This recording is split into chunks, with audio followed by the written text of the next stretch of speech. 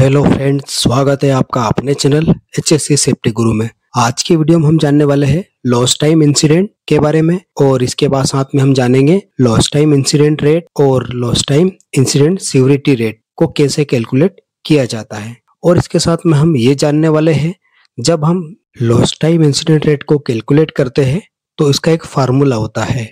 तो lost time incident rate बराबर numbers of L T I multiply by two lakh divided total working hours तो friends अभी आपके मन में एक ख्याल आया होगा कि इसमें जो ये है टू लाख ये कैसे आया? तो इसके बारे में हम आगे जानेंगे। ओके तो वीडियो को स्टार्ट करते हैं। तो सबसे पहले ये जानते हैं कि लॉस्ट टाइम इंसिडेंट यानी कि होता क्या है? एक ऐसी इंजरी होती है जो कर्मचारी को, जिसकी वजह से वो अपने रेगुलर काम पर नहीं जा सकता, वो अपसेंट रहता है, जिससे वो डेली जो प्रोडक्टिविटी होती है, उसमें भी नुकसान होता है और जो इंजरी हुई है, उसे रिकवरी होने में टाइम लग जाता है और उस पर्सन को अपने काम पर आने के लिए 48 आवर्स से ज़्यादा का समय लग सकता है। तो ऐसे इंसिडेंट को हम लॉस्ट टाइम इंसिडेंट की कैटेगरी में लिया जाता है।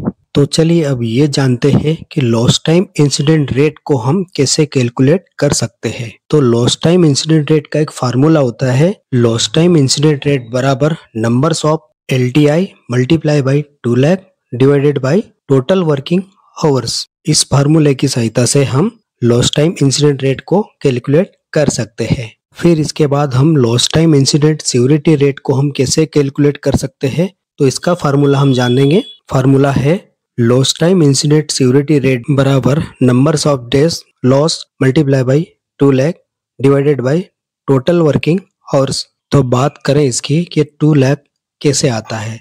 ये जो टू लैख की टर्म्स है, ये ओसा की ओर से आई है। दिस इज़ एस पर ओसा रूल्स अब ये कैसे है, इसके बारे में भी अब समझते हैं। ओसा ने ऐसा माना कि एक साल में 50 वीक काम के होते हैं और ओसा की रिक्वायरमेंट के अनुसार एक पर्सन एक दिन में आठ घंटे काम करना चाहिए। और ओसा के अनुसार एक वीक में एक पर्सन केवल पाँच दिन काम कर सकता है। तो इसके अनुसार हम कैलकुलेट करते हैं। Fifty multiply by eight multiply by five total answer है इसका टू थाउज़ेंड तो ये टू थाउज़ेंड वर्किंग आवर्स है एक पर्सन का। तो ओसा ने माना कि हंड्रेड एम्प्लॉय यदि एक साल में काम करते हैं तो उनका टोटल वर्किंग आवर्स हो जाएगा two thousand multiply by hundred. तो बराबर जो आंसर आएगा, टू लाख आता है। तो ऐसा है कि हंड्रेड एम्प्लॉय का वन ईयर का वर्किंग आवर्स टू लाख है।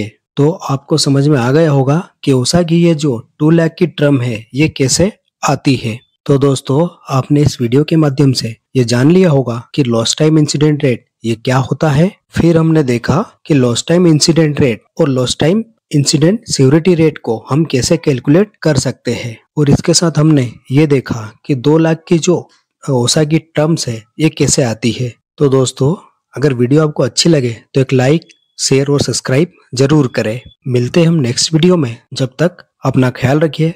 Take care bye